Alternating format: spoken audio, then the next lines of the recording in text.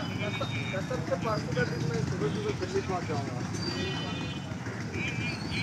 फिर उधर से सूरत जाऊँगा, उधर से ज़्यादा दूर नहीं है।